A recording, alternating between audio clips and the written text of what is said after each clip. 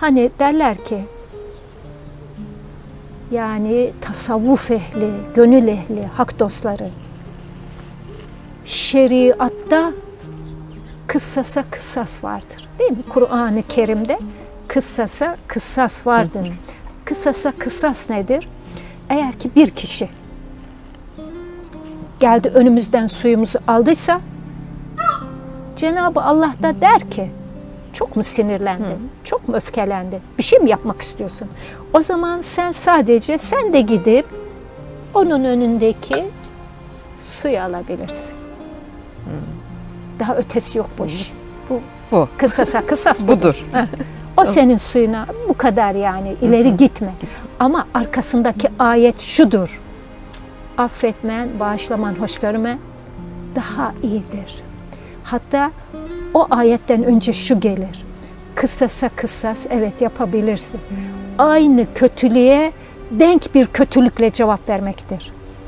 Burada aynı kötülüğe bakınız bu ayet çok önemli aynı kötülüğe denk bir kötülükle cevap vermektir. Bakın Cenab-ı Allah nasıl insanı uyarıyor. Kısasa kısas demiş ama aynı kötülüğe denk bir kötülükle cevap vermektir. Sen kısasa kısas yapabilirsin. Ama senin yaptığın da kötülük. Denk Yani. bir kötülük diyor. Ya. O nedenle arkasında yapmaz da affedersen, hoş görürsen daha hayırlıdır. Yani şeriatta kısasa kısas var. O zaman hadi ben de yapayım.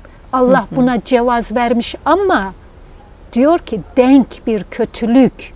Kısasa kısas yaptığın zaman bak sen de bir kötülük yapacaksın. Yapma diyor. Affet. Ama Affet. o yapma, affet, hoş görmen daha hayırlıdır. Onu kimse görmüyor. Kısasa kısas bunu herkes görüyor ama yine denk bir kötülük ayetini yine duymak istemiyor. Yani kısasa kısas yapıyor ama o da bir kötülük. Konumuza dönecek olursak. Şeriatta kısasa kısas vardır. Bu kadar, bu şekilde. Tarikata geldiğin zaman tarikat yol demektir. Adap, erkan demektir. Nezaket, nezahet demektir artık bir yola girdin, bir tarikata girdin.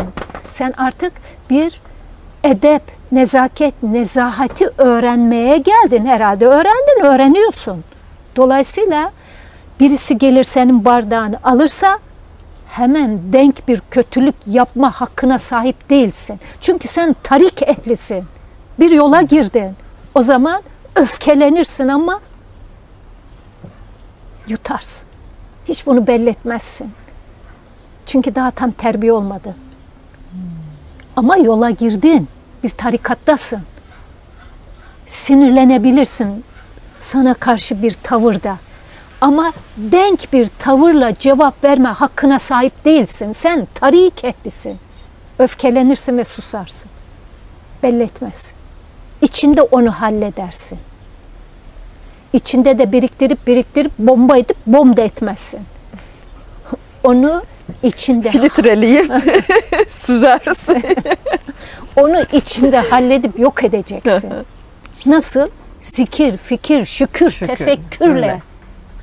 Çünkü sen artık bir tarik ehlisin. Bir zikrin var, bir evradın var, bir tefekkürün var. Onunla yok edeceksin. Tarik ehlinin de hali budur. Şeriat, tarikat, hakikata geldik. Birisi yine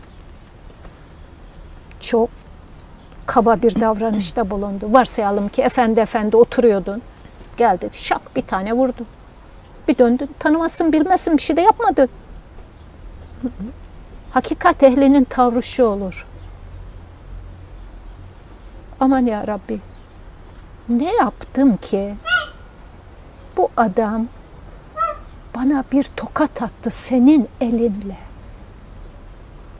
Yapana bakma, yaptırana bak deriz ya bir taneciğim. Ben ne yaptım ki Cenabı Allah bu adamın eliyle bana bir tokat attı.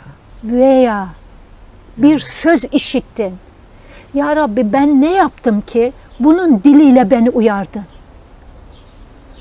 Karşı taraftan gelen sözü kişiden bilmez. Ne yaptım ki böyle bu sözle beni uyardın veya bana bu sözü söyledin.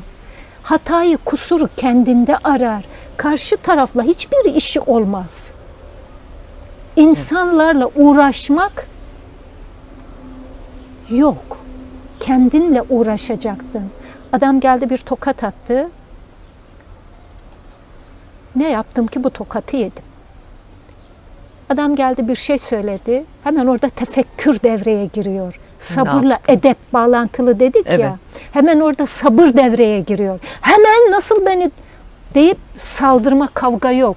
Dur bir sakin ol. Efendimiz ne buyuruyor? Çok öfkelendiğin zaman ayaktaysan otur.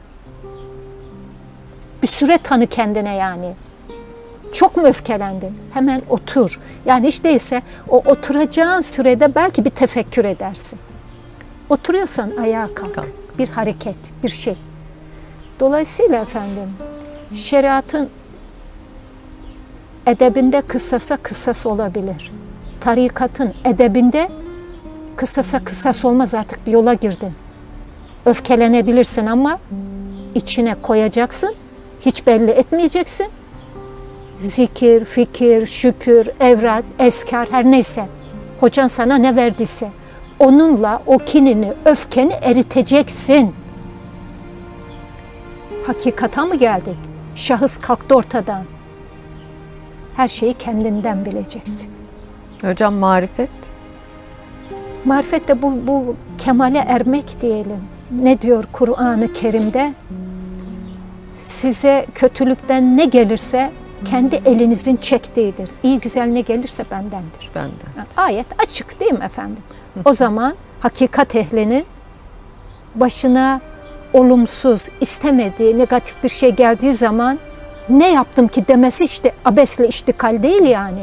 Başına kötü bir iş geldiği zaman nefsindendir, iyi bir hal geldiyse de bendendir. Ben de.